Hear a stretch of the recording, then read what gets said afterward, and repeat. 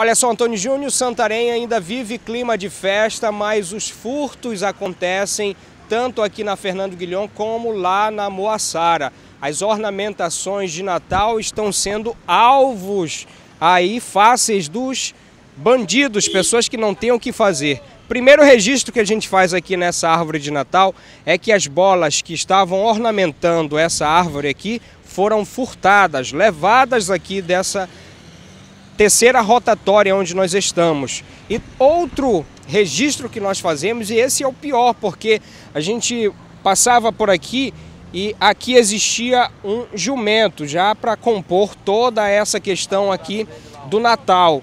E bem aqui estava o jumento, para compor essa estrutura aqui ornamentada para lembrar o Natal. E foi exatamente aqui que chegou uma pessoa cortou a mangueira e levou a ornamentação daqui. O que chama a atenção é esse fato, porque primeiro aconteceu lá na Moaçara.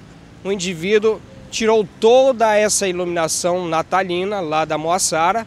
E agora o segundo registro que a gente faz é justamente aqui na terceira rotatória que levaram o jumento e levaram as bolas também.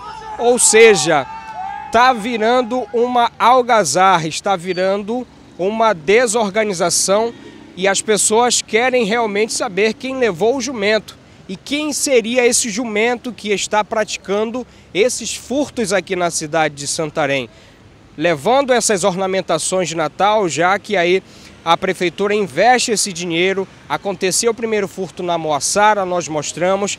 Segundo furto aqui na terceira rotatória, levaram o jumento aqui que compõe toda essa ornamentação e as bolas de Natal aqui na terceira rotatória que ficavam aqui nessa árvore de Natal estavam penduradas aqui exatamente, Júnior, nesses lugares aqui. E tudo indica que essa pessoa veio no período da noite, no período da madrugada e acabou furtando. A Polícia Civil Inclusive já está em parceria com a Polícia Militar na tentativa de descobrir quem é esse indivíduo ou essas pessoas que estão praticando esses crimes aqui na cidade de Santarém. Já que a cidade está aí em clima de festa ainda ornamentada e essas pessoas não estão satisfeitas com o que realmente está acontecendo. Uma nova visão para a cidade, mas infelizmente a gente mostra aqui que a parte onde aconteceu esse furto é uma via bastante movimentada e bastante iluminada.